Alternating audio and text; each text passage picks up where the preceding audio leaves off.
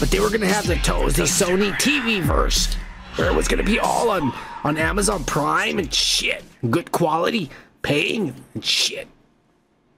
Well, they fired all the motherfucking lesbians and non-binaries who were trying to work on the Silk Spider Girl show because they were making it all fucking bisexual and about uh, indoctrinating kids or some fucking bullshit like that. Uh, so they fired everybody, and so that show got canceled and shit. So we're never gonna see the little hottie Asian trying to fuck Peter Parker.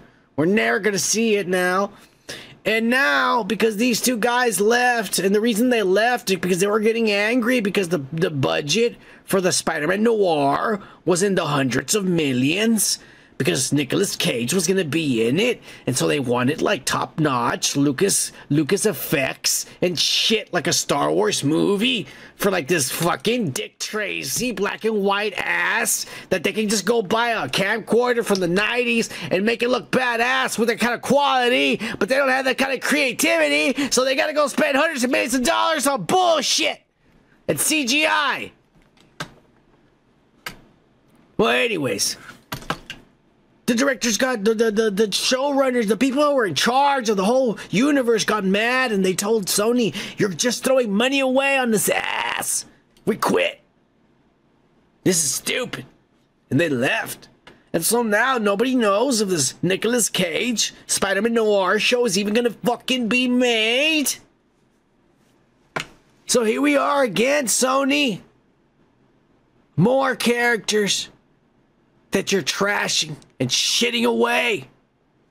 And Marvel and the MCU having less opportunities to make little Tom Holland look badass. So Tom Holland says, three more movies and then I'm out. Tom Holland in those three movies, they're gonna destroy your career. You idiot.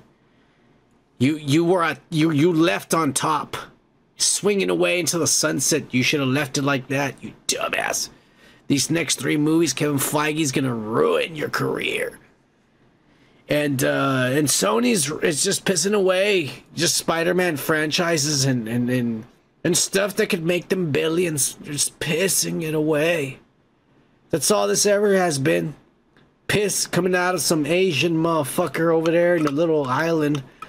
You know, thinking like he knows Spider-Man. Look, motherfucker, Spider-Man is American. All you know is your Super Saiyan Joe, your Super Saiyan Sentai, and your motherfucking, you know, your fucking whatever the fuck that little robot and that fucking little girl with the big eyes and shit. You know, that's all it is. You motherfuckers, we're the ones with the good shit, like Spawn, Superman, and Batman, Spider-Man. Yeah, motherfuckers. And then you try to do Spider-Man show and it looks like ass. It looks like a some Power Ranger bullshit. You don't even know how to do Spider-Man in your own fucking super stupid, you know, translation and shit. You stay away from our ass. Alright, we're moving on. That got a little racist. I'm sorry about that.